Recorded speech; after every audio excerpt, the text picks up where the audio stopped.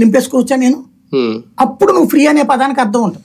అంటే ట్రాన్స్పోర్టేషన్లో వాటికి అవుతుంది అంటే సేనరైజ్ ట్రాన్స్పోర్టేషన్ అవుతుంది అంటే దానికి వాళ్ళ వరకు పెట్టుకో. ఒక మనిషి ఒక బిల్డరు తను డైరెక్ట్గా తీసుకుందామని వస్తాడు. పది లారీలు కొనుక్కుని వస్తాడు. ఇస్తావు బిల్డర్కి ఫ్రీగా? సేనరైజ్ వరకు తీసుకో. ఫ్రీగా ఇస్తావా? లేదు ఒక ఇల్లు కట్టుకునేటువంటి మధ్యతరగతి ఉన్నాడు. లారీగా వేసుకుని వస్తాడు. ఫ్రీగా ఇస్తావా నువ్వు?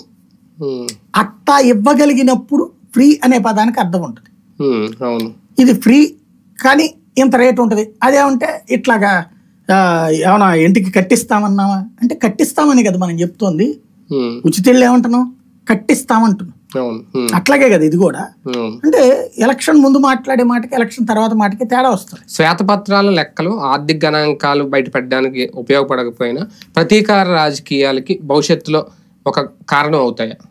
ఇంకా కొత్తగా ఏముండదు. ఇప్పుడు దాంట్లో వాస్తవంగా ఈ ఐదేళ్ళు ఈనాడు ఆంధ్రజ్యోతిలో వచ్చిన వార్తలు వీళ్ళు చేసినటువంటి స్టేట్మెంట్లు ప్రెస్ మీట్లు ఇవన్నీ పెట్టి వాటినే శ్వేతపత్రాల రూపంలో చూపించారు.